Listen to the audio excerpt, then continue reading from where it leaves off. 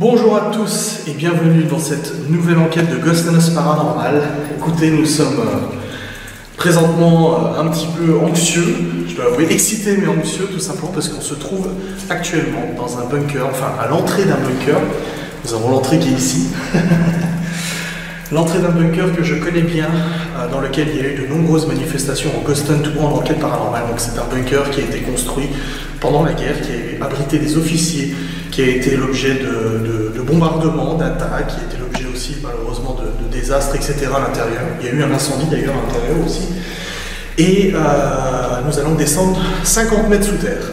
C'est équivalent d'une dizaine d'étages qu'on va gravir, enfin va, on va pas gravir, mais qu'on va du coup descendre. Et on va se retrouver dans le noir le plus total. Donc euh, je vous explique un petit peu le- un petit peu la, psychologie un peu de ce bunker, j'ai envie de dire, tout simplement pour ceux qui n'ont pas vu les anciennes enquêtes, parce que j'ai déjà fait une enquête ici. Mais il faut savoir que quand nous serons 50 mètres sous terre, il n'y aura aucune source lumineuse extérieure. Ce qui veut dire que si on perd la luminosité de nos caméras, si on perd n'importe quelle luminosité, on se retrouvera dans le noir le plus total et perdu. C'est relativement dangereux. Il y a aussi des passages un peu dangereux qu'on fera attention. Mais clairement, le lieu en vaut la chandelle et j'ai envie d'aller encore plus loin que ce que j'ai déjà fait dans les anciennes enquêtes. J'ai envie d'aller plus loin dans les phénomènes, j'ai envie d'aller plus loin dans les contacts et de- de- d'essayer de, d'avoir d'autres preuves, d'essayer d'avoir d'autres certitudes et même aller plus loin physiquement parce qu'on s'était arrêté à chaque fois au même endroit en Ghost Hunt ou en enquête et j'ai envie de découvrir encore plus de ce bunker. Donc nous sommes sur un format artisanal dans la mesure où on a démarré cette caméra et on l'arrêtera que quand on aura fini l'enquête. Il se peut qu'on fasse des pauses quelquefois si on en a besoin, si on en ressent le besoin, mais ça sera expliqué dans la vidéo. Donc euh, j'espère que vous allez passer un bon moment à regarder cette enquête et j'espère que nous, nous allons passer aussi un bon moment. Euh, parce que la, chose la plus dangereuse en soi, c'est qu'on commence à paniquer parce qu'on a des phénomènes extraordinaires, qu'on commence à paniquer en sachant que pour aller au moins jusqu'au point où je suis déjà allé une fois, il faut 20 minutes de marche. Donc si on se retrouve à paniquer là-bas, il nous faut encore 20 minutes pour retourner à l'escalier et encore au moins 5-10 minutes pour remonter l'escalier. Donc c'est assez compliqué. Mais euh, c'est parti. Donc là je vais fermer la porte, ce qui nous permettra d'entendre si quelqu'un rentre. Et on va comme ça se retrouver enfermé dans ce bunker. Ah bon Voilà. Je vais allumer ma caméra. Et on est bon, c'est parti. Mes talents Ouais, ouais, je vais mettre ma lampe aussi parce que. Voilà. Donc c'est toujours plus droit pour l'instant. Ouais, ouais, je veux bien croire.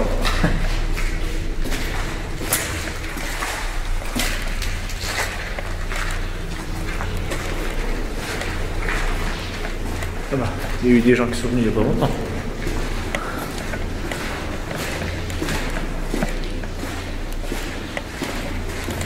Là-bas parce qu'elle avait été fermée au bout d'un moment. Ah.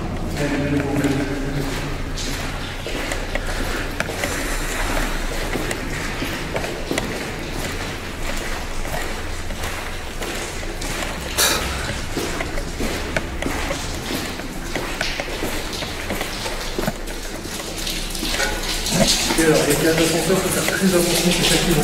C'est lui là Ah, il y a de l'eau. hein. Ouais. On n'est pas dans les blocs. Donc là à gauche, et après on descend les escaliers. C'est bon ça.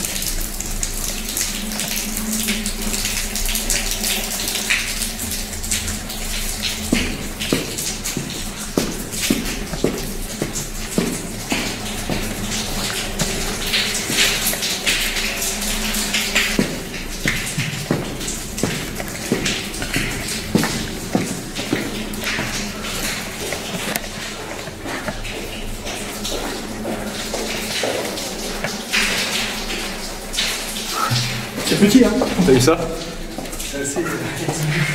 Faut pas être claustro. hein.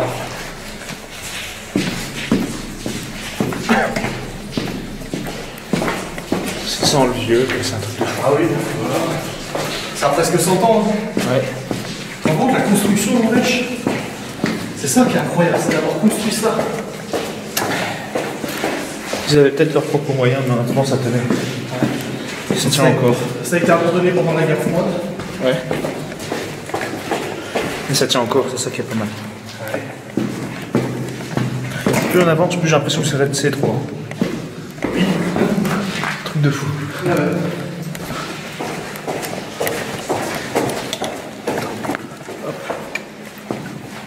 chaque fois ça tape le mur, là, c'est chiant. Ça me rappelle des souvenirs.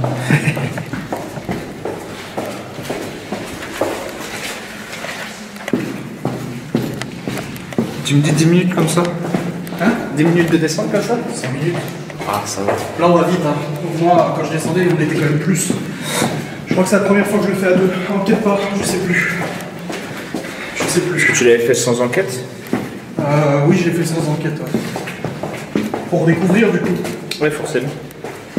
Putain, j'ai les gens qui tremblent. ça va se sentir. Ah, on est arrivé. Ah, Ah, tu vois, c'était. Ouais, rapide. c'était rapide.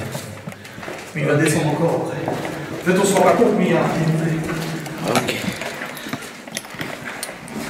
C'est c'est pas mal la voûte comme ça et tout. Ça voit que c'est. C'est bien. Ouais, c'est pas mal du tout. Hein.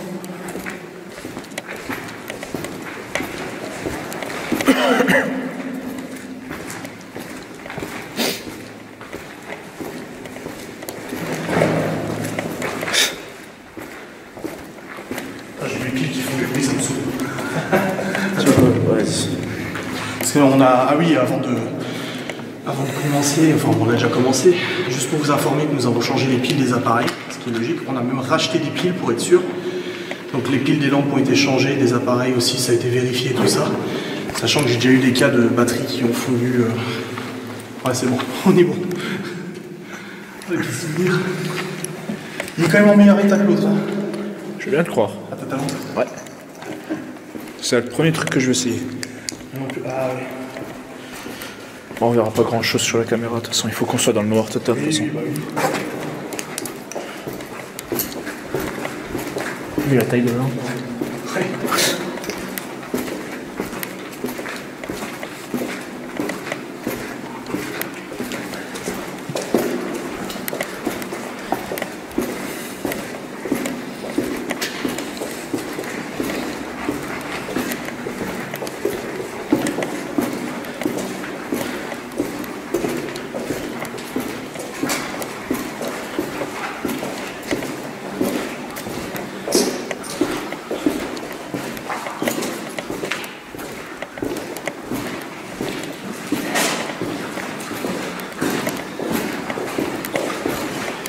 C'est. C'est gé- c'est géant. C'est énorme. C'est énorme. C'est quoi, c'est des cellules C'est pour remonter vers les. Ah. C'est quoi qui est au milieu là? Il y a un truc au milieu. C'est un caddie. C'est un- Bien vu C'est le caddie de chez Action, tu sais.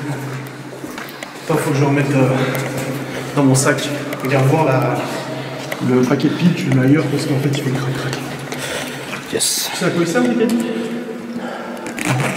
Au voleur de piles. Ah oui, bien vu. Il s'en sert pour transporter les, les piles qui piquent en fait. Oui, c'est pas faux.